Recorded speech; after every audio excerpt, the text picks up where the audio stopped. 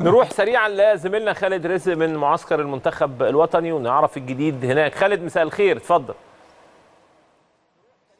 مساء الخير عليك كابتن سيف ومساء الخير على مشاهدي قناة تايم سبورتس في كل مكان.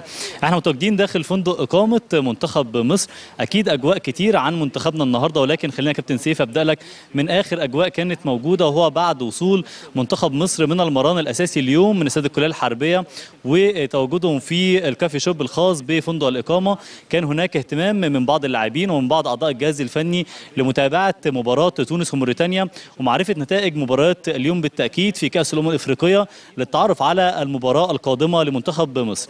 وبعد تأكد مواجهة منتخب مصر مع جنوب إفريقيا يمكن كان بعض اللاعبين في كلامهم إن هيكون مباراة صعبة ومباراة هامة جدا. وكان ليها حديث مع مستر ميشيل سلجادو المدرب العام لمنتخبنا الوطني.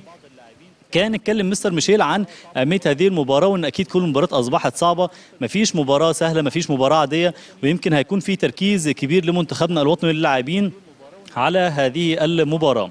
أيضا يمكن كان في مران منتخبنا الوطني النهاردة كان في حضور للدكتور أشرف صبحي وزير الشباب والرياضة وأيضا من المهندس هاني أبو ريدة رئيس الاتحاد المصري لكرة القدم. كان في مؤازرة للاعبين وكان في اجتماع بعد المران من قبل الدكتور أشرف صبحي وكان اجتماع مصغر. كان بيحث اللاعبين على أهمية بذل كل جهد في هذه المباراة وهي المباراة القادمة بالتأكيد والتركيز على إسعاد الجمهور بشكل عام بيكون متواجد آلاف مؤلفة داخل الاستاد وأيضا ملايين بتتابع منتخبنا الوطني من خارج الاستاد. ويمكن كان المران النهارده كابتن سيف بعيد عن إن كان طبعا مش موجود أحمد حسن كوكا مهاجم منتخبنا الوطني.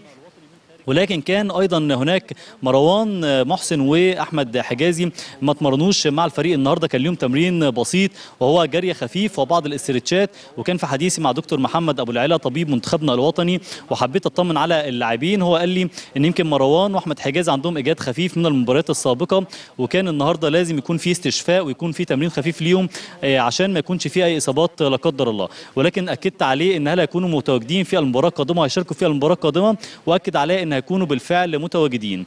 أيضا عن مران المنتخب النهارده يمكن مستر خفير أجري كان معتمد النهارده على بعض الجمل التكتيكية وكان معتمد على بعض الوانتوهات من الأطراف لتعديل خطة منتخبنا الوطني وأيضا للخروج من الأخطاء اللي كان يمكن واقع فيها منتخبنا الوطني في المباريات السابقة. وكان هناك تركيز كبير جدا. وكان في ختام المران النهارده مستر خفير أجري كان في وجبة دسمة من المران على ركلات الجزاء تحسبا في حال لو وقعت مصر قدر الله في ركلات جزاء أو تعادل في الأدوار القادمة بإذن الله. فيكونوا اللاعبين جاهزين لركلات الجزاء. ويمكن كان ظهر ولمع في ركلات الجزاء حراس المرمى أحمد الشناوي ومحمد الشناوي اللي كان ليهم دور كبير في صد بعض ركلات الجزاء.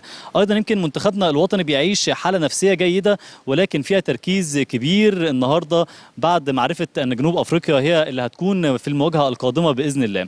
عن برنامج منتخب مصر غدا بإذن الله يمكن منتخب مصر هيكون عنده مران الساعة 12 ظهرا ولكن في صالة الجيم وهيكون الساعة 7 مساء هيكون المران الأساسي للفريق في استاد الكليه الحربية.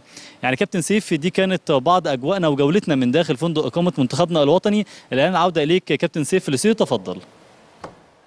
بشكرك شكرا جزيلا الزميل المتألق خالد رزق من داخل معسكر المنتخب الوطني.